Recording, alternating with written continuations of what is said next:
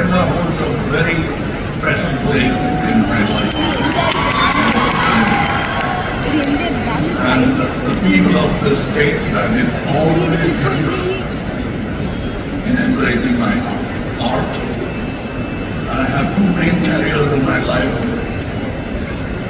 One is as, as an artist, and another as the people representative.